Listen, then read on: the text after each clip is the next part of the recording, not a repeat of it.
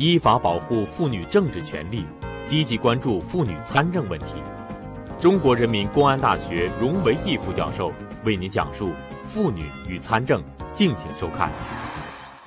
西方妇女参政运动可追溯到1789年法国资产阶级革命，在自由、平等、博爱启蒙思想的鼓舞下，妇女如同资产阶级向封建主义挑战一样，也向男权发起挑战。这如同火种，在世界范围内迅速传播，燃起妇女运动的熊熊烈火。世界范围内的妇女运动都是从争取选举权开始的，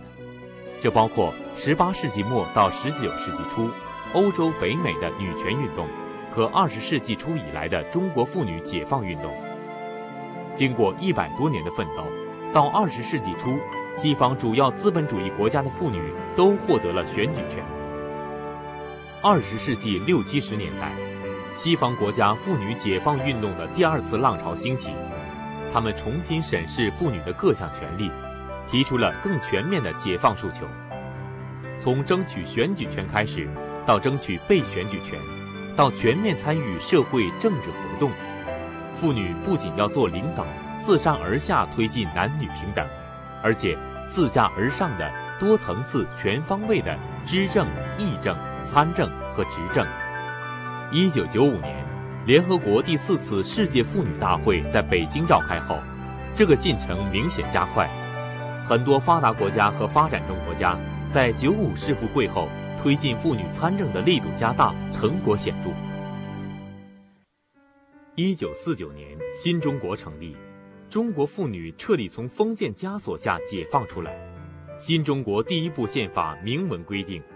妇女与男子一样享有政治、经济、教育等各项权利。中国妇女以空前的热情投身于社会主义建设中，在各行各业，我们都看到了女性的身影。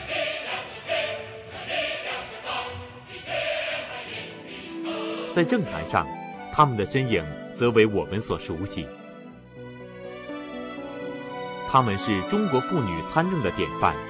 他们的成就，他们的风范，也成为广为传颂的佳话。这些都体现了我们党和政府对男女平等的实现所做出的不懈努力。中国妇女参政的确取得了很大的成就，但是我们必须看到，由于封建传统观念在一定程度上的影响，男主外女主内的分工模式，女性家庭角色的刻板定型。以及部分社会舆论对女性存在的偏见，使妇女参政还存在一定的困难。这还需要广大女性以及社会的全面关注，积极推动我国妇女参政的进一步发展。那么，妇女参政实际上就是啊，政治民主化、社会主义民主建设的一个重要组成部分。荣维义。中国人民公安大学副教授、妇女理论社会性别研究专家，兼任中国妇女研究会理事、中国婚姻家庭研究会理事、中国警察学会特约研究员等职务，主要从事妇女参政需求研究、基层妇女参政能力建设、社会性别倡导和培训、社会性别与警察执法等方向的研究。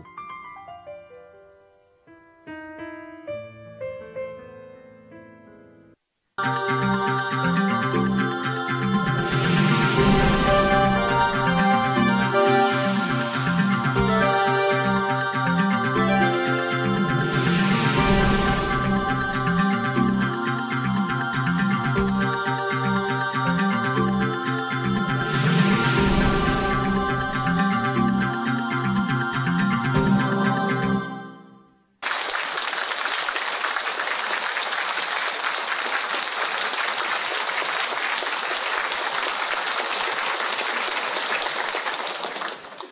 呃，同学们大家好，非常高兴能给大家来一块儿探讨这个，呃，关于妇女参政的问题。我想分这么三个层次来讲。第一呢，就是关于这个妇女参政的一些基本的概念，啊，包括这个什么叫参政，那么参政的必要性，还有参政的这个目标，是吧？这是关于参政的一些基本概念。那么第二个层次呢，就是，呃，关于中国妇女参政的呃存在的问题，以及呃我们应该怎么来看这些问题，是吧？那么第三个层次呢，就是说，呃，看看未来中国妇女参政的走向，是吧？我们应该能够做些什么事情，是吧？主要分这么三个方面。那么现在呢，我们主要呃先来看的第一个问题就是有关妇女参政一些概念。我们讲的是妇女参政，那么首先我们就要说什么是参政。那按照那个现在的那个新华，就是这个汉语词典来讲呢，所谓参政呢，就是参与政治活动和参加政治机构，啊，参与政治活动和参加政治机构。那么这样一个界定，啊，实际上就是表明了所谓的参政分两个方面，呃，也就是说它有一个广义的参政的概念，另外还有一个狭义的参政概念。那么，对于妇女参政来讲，广义的参政的意义是什么呢？就是说，作为女性，呃，关注政治问题，啊，关注国家的大政方针，啊，关注着这个我们社会生活的方方面面，而且不仅是关注，还要对他发表意见，有自己的看法，积极参加一些社会的政治的活动，啊，比如说参加选举。啊，你去不去投票，那么就和你对这个政治的关注就有很大的关系啊，或你的政治态度就有很大的关系，而且能够表达自己的意见。我对某一个政策我不满意，或者说呢，我有什么我自己的意见，能够希望呃这个领导能够呃采呃这个采纳，那我可以积极发表我的意见。那么这个呢，我们你这样的行为或这样的活动呢，我们管它叫做广义的参政。那么狭义的妇女参政是指的什么呢？是指的妇女能够进入党和政府的这样一种各级的领导机构，进入企事业单位的这样的管理的阶层，作为管理者、领导者、决策者来发挥你的作用。那么这样一种这个参政呢，实际上就是我们现在说的比较多的就是当官儿。所谓当官呢，就是你你你呃进入这个决策层。这是狭义的参政，那我们今天讲的参政到底是广义的还是狭义的呢？我想呢，两个方面的含义都有，因为呢，这个广义的参政和狭义的参政呢，它是相辅相成的，因为没有广大的妇女对政治问题的关注，对妇女利益的关注，对党的方针政策和妇女的利益的关系的这样一种关注，那么呢，就不可能有，呃。最优秀的妇女来脱颖出来进入决策层，也就是说呢，如果我们普遍的广大的妇女不关心政治，那么呢，我们进入高层决策，呃，权有具有决策权的领导岗位的妇女呢，就会没有呃来源，动力不足，所以更多的妇女然后能够成为领导者，她需要更广大的妇女的那样一种参政的议政的意识，啊，那么另外一个方面是吧？如果没有我们更多的妇女进入决策层、领导层，没有这些进入决策层、领导层的女干部能够为妇女的利益来去说话，表达妇女的声音，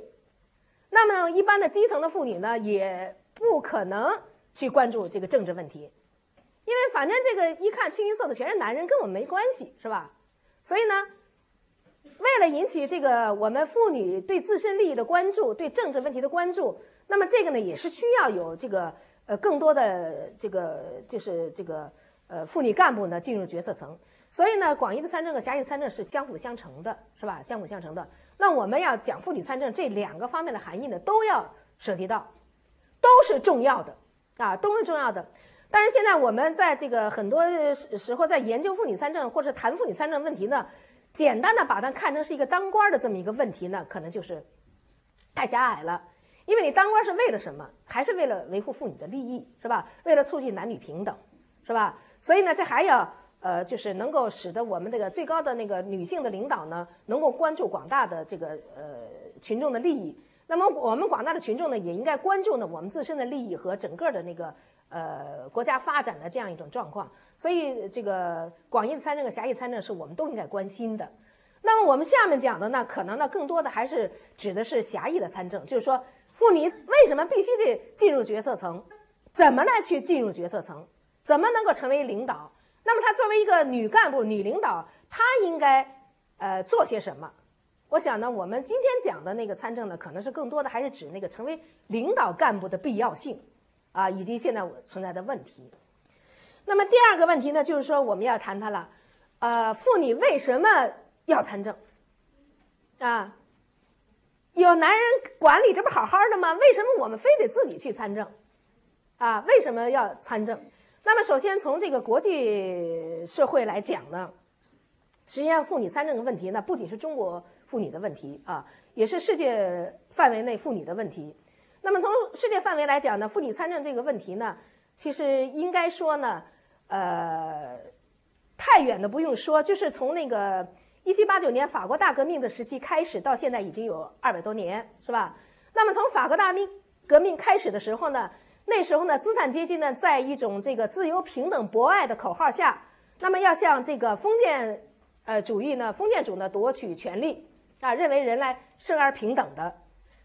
那么在这个情况下呢，这种启蒙的口号，对当时的法国。的妇女呢，也是一种启蒙，啊，所以当时有的那个法国的那个妇女呢，也是提出来，是吧？那么你男性要向封建主来夺取呃政权权利，那么我们女性呢，也应该有自身的权利，啊，也应该有自身的权利。所以现在那个妇女运动史啊，或者妇女参政史呢，它把这妇女参政的起始呢，从法国大革命开始，那么到了这个十八世纪，啊，实际上在那个西欧的那个主要的资本主义国家。那么都开展了这个就是争取妇女选举权的运动。那么到了十九世纪到二十世纪的初，就是也就是一九二零年代啊，那么在呃这个呃西方的主要资本主义国家的那个妇女呢，都获得了选举权。那么也就是说呢，在法律上啊，妇女呢已经获得了和男子平等的政治权利啊，你有投票权了，那当然你可能也就有。被选举的那个呃权利是吧？但实际上，当妇女获得选举权以后呢，他们发现，仅仅有法律所认可的那个选举权，并不能够自动的变成你实际的权利。那么，妇女在社会生活中呢，在就业、在教育、在很多领域，仍然是受着这个就是男性的那样一种这个压迫吧，仍然是不平等。那么这样，基于对自身的这样的一个地位的认识呢，从这个这个上一个世纪，也就二十世纪的六七十年代开始呢，大家可能都知道，是吧？就西方妇女呢，这个妇女解放运动又开始了第二次浪潮啊。那么这时候，她要争取的权利呢，就不仅仅是法律所认可的这样一种选举权，而包括着方方面面的权利，比如说工作环境的平等，啊，工作条件的平等，同工同酬，是吧？对这个妇女的那种掩盖的那种歧视等等，所以呢，就是使得那个妇女的解放运动呢，它就把那个法律所认可的政治权利变成一个实际的、能够看得见的这样一个运动。那么这样一个运动呢，发展到一九九五年的北京世妇会，那应该说可以说是达到一个呃一个高潮或者是一个新的起点。那么在北京世妇会呢，最后形成了一个就是那个行动纲领。这个行动纲领呢，提出了这个十二个重点关注领域。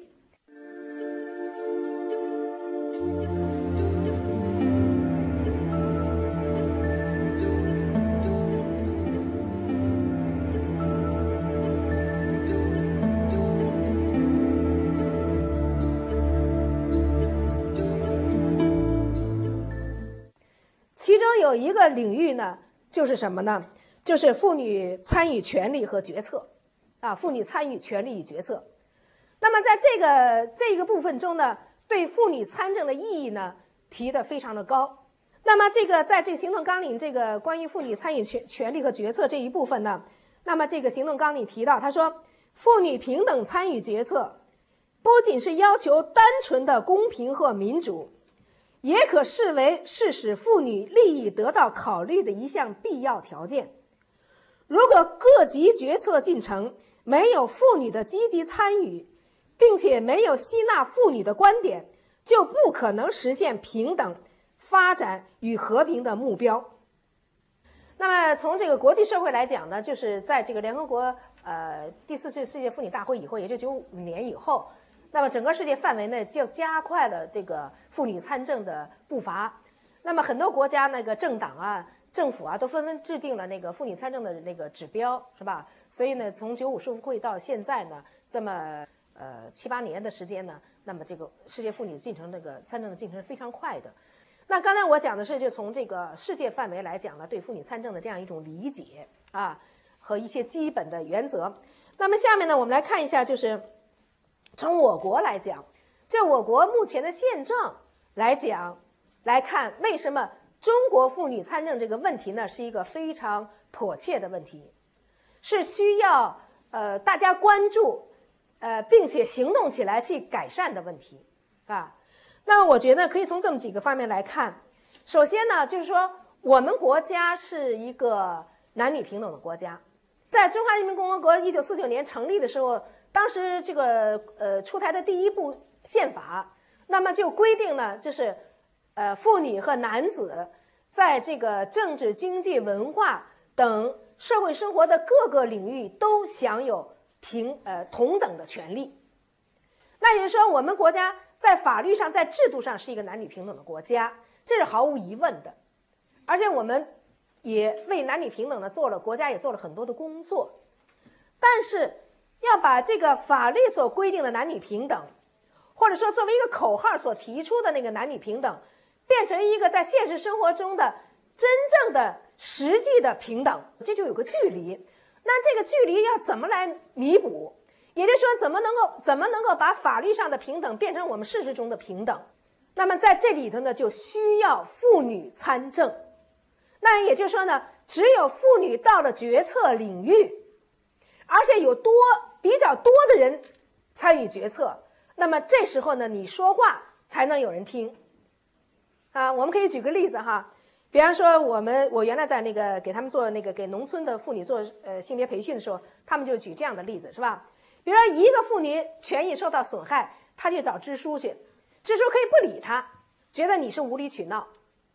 啊，去去去，回家去，该过日子怎么过该怎么过过去是吧？但是如果有两三个妇女去找这个支书或找村长。那么这个支书就不能够随便敷衍了，他至少给他端个茶倒个水，哎，好，坐下来好好说，别着急，他的态度就会有所改变。那么现在如果有二十个妇女反映同样的一个问题，那么人一多，那么这时候呢，你作为领导呢，你是不是就得考虑了，是吧？所以实际上也就是我们常常说的人多力量大。那么以这样同样的道理，我们在这个决策领域中也是这样子的。如果这个领导班子里有只有一个女性的话，她的声音是非常微弱的。如果有两个呢，稍微壮着点胆儿；如果有三个，甚至达到了一半那么这时候呢，她就完全可以，呃，理直气壮的来表达自己的声音。所以，妇女需要参政，而且需要有一定数量的、一定的比例的。所以，联合国呢，它是这样规定的，就是说。他那个在一九九七年的时候，在那个印度的新德里呢，开了一个这个呃世界呃这个这个各国议会联盟开的那么一个会，在那个议会联盟中呢，他提出来这么一个标准，就是说呢，各级决策层啊中的那个女性的比例应该达到百分之三十，首先达到百分之三十，然后呢，再从百分之三十呢，再进入到什么呢？百分之五十，就是一半一半啊。当然，你现在提百分之五十不太现实，那么至少要百分之三十。他为什么要提这个比例呢？就是因为你这个比例高和低，它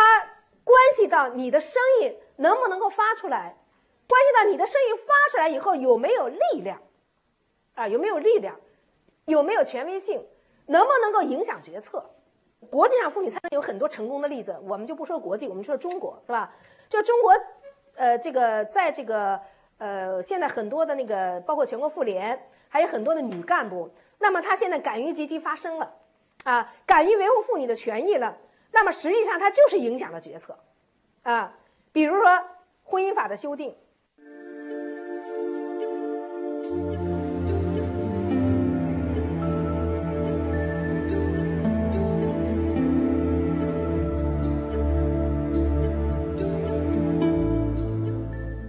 把家庭暴力放进去，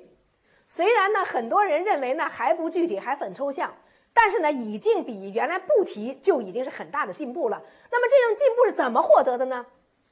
如果没有女性的学者、知识分子和广大的呃这个妇女，甚至包括女大学生啊的这样一种呼吁，没有妇联的高层的领导的这样一种呼吁啊，那是很难写进那个婚姻法中的。所以这个意思就是说呢，如果没有呃妇女的参政呢，啊，没有妇女的生意，那么这样影响到妇女利益的这些的法律法规政策呢，可能就会损害我们的利益。另外还有一个原因呢，就是说。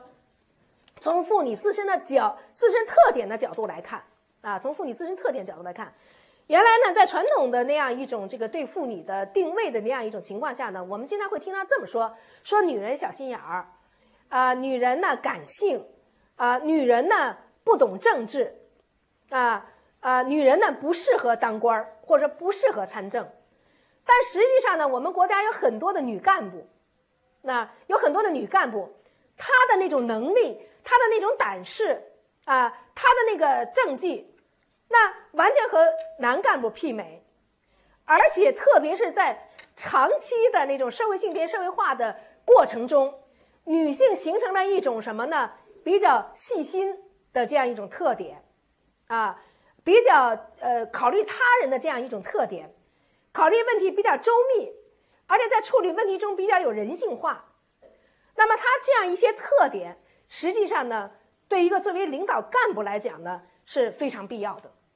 所以呢，现在我就是我，我听到很多那个男干部都在说啊，说跟妇女干部在一起嘛，就发现妇女干部有什么什么样的优点，说他们特别认真，特别吃苦，说他们特别廉洁等等等等。当然，我觉得呢这也不是全部啊，因为女干部也有不能吃苦的。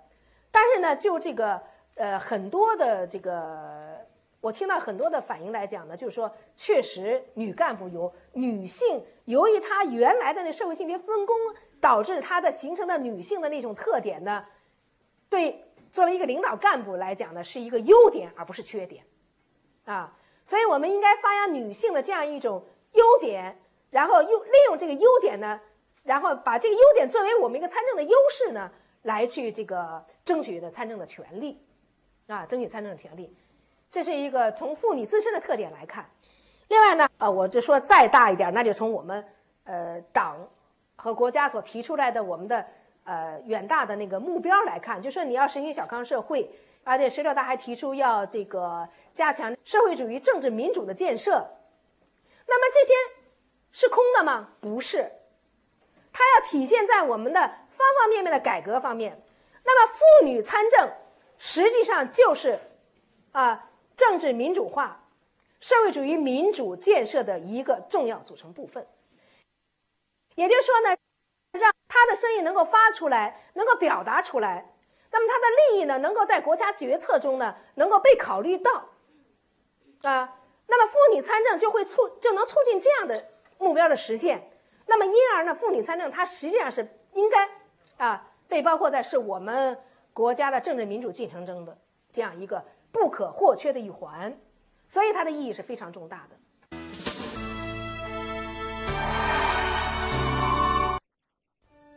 继续关注妇女参政问题，继续聆听荣维义教授的阐述。那么，妇女参政实际上要达到两性平等，也就是建立两性的平等伙伴关系。那么，我国妇女如何实现这样的参政目标呢？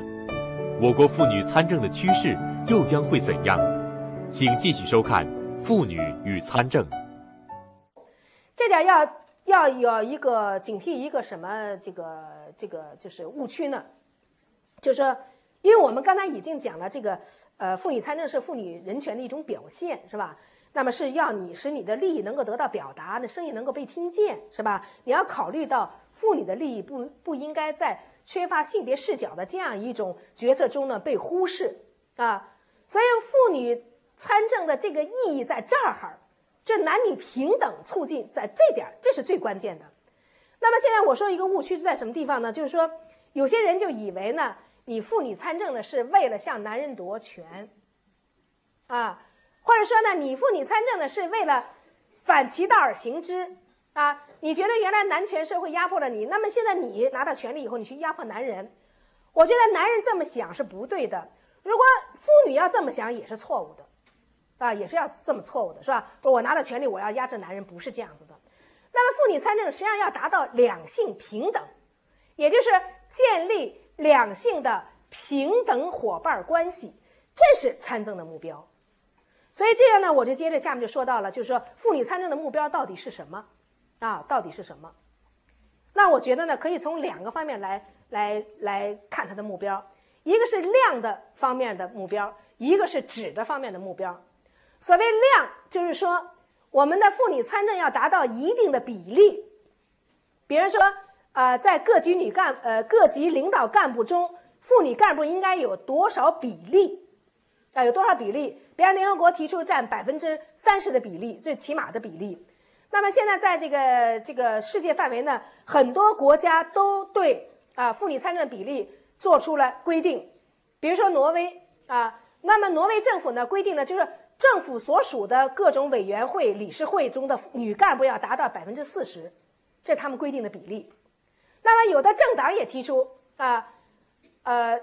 这个政党的那个党代表，他的那个党员的比例，就性别比例也要达到百分之二十、百分之三十五、百分之四十，都有不同的规定。或者他这么规定，他就说，在一个政党中的代表的任何一个性别都不能少于百分之四十。或者说呢，任何一个性别呢都不能多于百分之六十。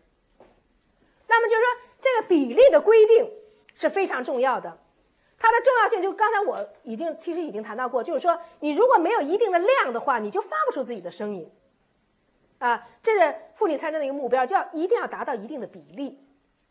当然，最理想就是百分之五十，因为。妇女的人口和男人的男子的人口是一样的，各占百分之五十。那么，在一个权力机构中呢，那么就应该是应该是平等的，啊。但由于长期以来妇女没有这个权利，那么在它是一个渐进的过程，所以呢，现在比例呢可以提的低一点儿，是吧？然后呢，它达到百分之三十以后，它可以到四十，它可以到五十，这是一个参政的指标。那么还有一个参政指标呢是非常重要的，就是说妇女参政要为妇女说话，要表达妇女的声音。这是一个更重要的指标，为什么呢？就是说你数量如果达到了呢，但是你说的话和男人说的话如果是一样的话，你这个数量是没有意义的，对不对？你这是没有意义的，为什么呢？因为如果你虽然达到了百分之二十、百分之三十、百分之五十，但是你说的话跟有男权思想的那个官员说的话如果要是一样的话，那你就不用参政了，那你就不就没有必要参政，因为你跟他说的一样。所以呢，妇女参政的一个。指的衡量的指标是什么呢？就是看这个参政的妇女能不能够为妇女说话，能不能表达妇女的声音。所以我觉得呢，就是说在这个问题上呢，就是说，呃，对妇女参政的那样一种意义，她的那个参政的为什么要参政，参政的目标啊，那么在这个问题上呢是非常重要的，应该有非常清醒的认识。所以这个联合国在这个。实际上，我刚才讲的那个一九九五年的那个这个那个嗯北京市妇会啊，那么提出了行动纲领，它在十二个关注领域，每一个领域都强调了一个什么问题呢？都强调要把社会性别纳入决策主流，啊，要把社会性别纳入决策主流，在政治问题上，在参政的问题上，你要纳入决策主流，要考虑到妇女参政的意义，妇女不参政的弊病弊端。而让积极的创造条件让妇女参政，那就这样子把那个社会性别这样一个视角纳入了参政的这样一个领域。那么现在呢，联合国呢各个机构啊，它有一个非常重要的一个观点，就是说它要把社社会性别纳入联合国的各个机构的决策主流。啊，联合国你扶贫，你的那个什么这个。呃，你这个反对这个战争啊，你这个要这个和艾滋病做斗争啊，你要这个呃开展这个就是在世界范围内扫盲等等等等。那么所有这些领域中都有性别问题，都有性别问题啊。艾滋病这个问题是吧？妇女处于弱势，由于她在那个生理上的弱势和这个呃这个生理结构上的这个问题，还有这个她的社会呃地位的弱势，她这个。她不能够抗拒这个不安全的性行为，是吧？等等，如果你这些问题讨论上没有性别视角的话，你解决不了这些问题，啊。所以谈论妇女问题，不是就妇女谈论妇女，而是就这个社会的平等发展与和平来谈。它是一个权利的问题，是一个体制结构的问题，啊，而不仅仅是妇女的问题。所以呢，我们要是妇女参政呢，你这个如果要不明白的话，啊，那你那个参政呢就大大打了折折扣。那你顶多证明你自己是可以当官的，可以参政的，但是不能证明你理解了这个妇女所处的处呃处的那个困境。那么你作为女性，你就没有为女性的发展做出贡献。所以这个你怎么为妇女说话，这个指标是非常重要啊。当然，我们刚才说了，这个妇女参政啊是促进民主化的过程，在我们现有的体制下，我们妇女参政应该，呃，怎么做？可以怎么做？啊？那么，呃呃，现在有有专家学者研究呢，事实也是这样子的，就说呢，在中国来讲呢，妇女参政的途径呢，主要有三种，啊。当然，我这里说的参政呢，主要是指的狭隘的、狭义的参政，那个那个意义上参政，就是当官儿、进入进入决策层的这样的一个意义上的参政，是吧？那么现在我们国国家呢，这个妇女参政主要有三种途径。那么三种途径呢，我们都可以呃发展出一些策略来，来促进妇女参政。那么第一种途径就是任命制。那么这个任命制呢，在特别是在高级、高层的这个。呃，领导干部中呢，这是一个普遍的那个干部参政的途径。如果呃上级组织部门或者上级领导，他啊头脑中呢有性别意识，他能考虑到啊这个干部他被提拔上来以后，他能够为妇女来谋利益的话，那么他任命了这样的干部，他马上能够很见效。但是他也有弊端。他什么弊端呢？就是说，他任命的这个妇女，如果他要没有性别意识呢，啊，他去当了这个女干部、女领导，但是呢，他由于他自身没有性别意识的话，那么他可能，呃，虽然身为女性，但是不为女性说话。那针对这个任命制呢，我们应该有些什么策略呢？那就是应该对啊，呃，领导部门。组织部门男性主管进行社会性别意识的培训，让他们了解怎么能够选择一个更合适的女干部，怎么能够选择更多的女干部进入决策啊？为什么要选他们？啊？现在那个中央党校的那个呃有个妇女研究中心，他们现在呢做的一个工作就是呢对那个进入中央党校学习的党的后备干部进行社会性别培训啊。呃，希望呢，能够那个将来有所见效，这是一个参政的一个途径了。那么现在呢，在中国这个参政的还有第二条途径呢，就是竞聘，就是公开选拔、竞争聘用。但是这样一个呃参政途径呢，它主要是对中层干部的选举，比如说县处级呀、副副局级的这样一种选举。那么这样一种这个干部选拔制呢？那么就对妇女参政呢提供了一个比较广阔的空间。那我也在公安大学有一次那个就是呃和这个东北的一个女警察我们在一块聊天的时候，她就说他们那边呢公安局呢也进行在处级这这个岗位上呢也进行公开招聘，结果就有女警察就被选拔聘任了，就当了女处长。大家想想，公安这个职业呢，在人们的眼睛中呢，它是一个跟，呃，军人的职业类似，就是一个，呃，那种这个阳刚的，是吧？那种那个非常强悍的，然后那个对敌斗争的那种那个这样一种那个非常男性化的这样一种职业啊。所以在这个一种职业中呢，这个女性能够提拔到领导岗位上是很不容易的。那还有一个例子，就是说在两千，呃，两千零一年的时候啊。呃，北京市呢公开招聘三十名啊副局级的干部，啊，那么呢，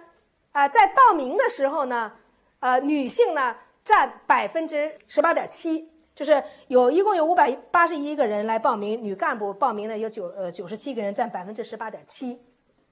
大家就记住这个比例啊，十八点七。然后他经过一轮笔试以后，女干部就。就是通过笔试的女干部就上升到百分之二十二点八，然后再通过面试以后，女干部的比例又上升到百分之二十三点六，然后再通过组织考察，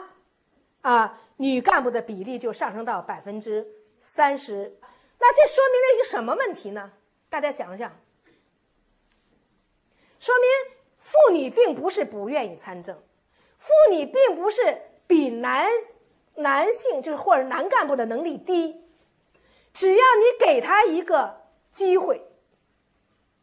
只要这个机会能够是一个平等的机会，机会的平等，那么妇女呢就能够进入领导这个决策层。但是也不等于说，啊，我给你一个招聘，公开招聘，你就必定能上来。北京市的妇女在招聘中达到这样一个好的成绩，和北京市妇联对这个工作的关注，自始至终的跟踪是有密切的联系的。因为当时他们成立一个专家班子，但我也参加了这个这个领这个班子，就说他们当时他们怎么来设计这个问题，就从一报名他就宣传动员。让更多的妇女去报名，啊，然后报名来以后，然后给他们进行培训，啊，怎么来个这个面试，啊，怎么来有自信心，怎么来鼓励他们，一路关爱。所以在这里头呢，也就是说呢，即使是公开招聘，也需要有，啊，帮助，也需要帮助，因为妇女原来参政的没有经验，啊，啊，参政的经验很少，是吧？没有这样一种胆，呃，就是很多人呢，没有这样一种这个魄力，不相信自己有这样的能力。其实他有，但是呢，人家说你没有，他也觉得自己没有了，是吧？所以在这个过程中呢，实际上公开招聘是一个机会，但是呢，我们妇女自身也要把握。作为妇女组织，作为这个这个研究单位或机构，那么也应该帮助他们，这样子呢，他就可以这个发展，就是发展出自己的能力来。所以这也是需要做工作的啊，需要做工作的。这是从中层干部的呃参政的途径来讲，是公开招聘，这是一个。而且可以可以想见的是什么呢？就公开招聘的这样一个范围会越来越大，啊，越来越多。实际上就对我们那个呃妇女参政提供的机会就越来越多啊。希望在座的各位将来呢，能够呢以很多的先进的例子为榜样，然后也积极加入这个这个这个行列，是吧？那么还有一个呢，最后一个呢，就是说，就是在这个基层最基层，啊，在这个比如说农村的村委会、党支部的基层的直选中，在这个城市的这个基层的选举中，那么在这样的选举过程中呢，那么妇女怎么参政？这就是没有任何限制了，你谁都可以报名，你作为一个村民，你谁都可以报名，啊，那么在这种情况下呢，实际上妇女。既面临着挑战，又又呢带来很大的压力，因为在过去呢，就是没有基层没有这么公开选举的时候，还是直接任命制的时候呢，那么你是一个妇女呃妇女委员，比如说，或者你是一个呃基层的那个妇联的一个成员，那你当然呢，你就是村委会的成员之一啊，村委会的成员之一。那么现在好了，不管你是不是妇联干部，不管你原来是不是妇女主任。现在呢，公开直选就是海选呢，农村叫做海选啊。公开的选举时候，这时候你这个妇女，你是骡子是马拉出来遛一遛，你能不能进入村委会？你能不能进入那个党支部的领导班子？能不能？这时候对妇女是一个非常大的挑战。在农村的这样一种最基层的选举中，我们也要争取到我们的什么权利啊？那你要争取权利，这权利不是自动给你的，而是要通过你的努力。来表现你是有能力的，啊，那么这个呢也是要做大量的工作。最后一点就是说，呃，中国妇女参政的未来走向，啊，中国妇女参政的未来走向这么一个问题是吧？那么应该是这么说，就是说，啊，随着这个我们国家的那个政治民主的发展，随着人们的那种这个个人的主体意识的觉醒，那么妇女肯定会。越来越多的关注什么政治问题，关注自己的切身利益问题，所以呢，肯定会有更多的妇女呢，呃，这个能够知政议政，而且肯定也会有更多的妇女呢去走到领导岗位去执政。我想这个趋势是不可否认的。那也就是说，前途是光明的，但是道路是曲折的啊。为什么说道路是曲折的呢？因为大家一定要看到，我们的传统的那种男尊女卑的这样一种文化呢，是根深蒂固的。那么，因而呢，这个妇女在走向参政道路上也是充满了什么困难的、艰辛的。那么在这里头呢，我觉得呢，就是呃，有些什么策略？那就说呢，首先我们要把这个我们国家所签署的这样一些国际的那些文书。比如九五世妇会的提出来的行动纲领的一些要求啊，比如说这个我们这个呃签署的很多那个法律，就是那个那个呃公民政治权利啊等等这些法律，我们要用用求，这是第一。第二呢，就是说我们在这我们的这个呃国内的发展过程中，我们妇女本身要自强自立啊，要自强自立。那也就是说呢，环境是这样子的。就是在这样一种环境下，我们怎么来发展自己？我们不可能等到环境改变了以后，我们再去参政，没有这样的好事情，是吧？那么权力从来是自己争取来的，所以呢，即使外在环境对我们不利，我们也应该努力。特别作为我们年轻的大学生，我觉得呢，我们如果从现在就开始有这样一种意识，啊，这样一种培养自己的自信，这样一种能力，啊。然后在学业上，在那个关注的领域上，是吧？进行发展，我想呢，我们的大学生将来呢也是是很有希望的。所以要要自立也是很重要的。另外呢，我觉得呢还应该什么呢？就是说，在妇女参政这个问题上，我们要加强研究。啊，妇女为什么要参政？她参政中有什么困难？我们怎么解决这困难？啊？她这困难是有主观的呢，是个人的呢，还是客观的呢？是一个环境的呢？是一个机制的问题呢？是个法律的问题呢？还是一个观念的问题呢？我们对这个要有清醒的认识，要进行研究。他不是说我想参政就能参政的，你要说出来你参政的理由，你要说出来你必须得参政的原因。那么这个要有研究的。所以呢，我们应该关注啊整个世界的民主的发展的进程，关注我们国家的改革的这个民主的进程。这样呢，在这样一种关注中呢，我们才能够提升我们自身的使命感，啊，我们作为一个女性，我们的人生的价值，啊，我们为妇女来奋斗的这样这样一种这个使命感，我觉得应该在新一代的女大学生中间呢，应该有这么一个上，就是补上这么一课。我们应该在这一方面对自己有所要求。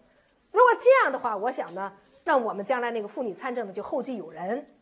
是吧？我们就每个人可以作为一个火种，我们就可以，呃，那个向全国各地散播。我希望呢，我们将来在座的各位都是我们未来的这个妇女领导干部的那样一个那个栋梁。好，我今天讲的这儿好吧？好，谢谢大家。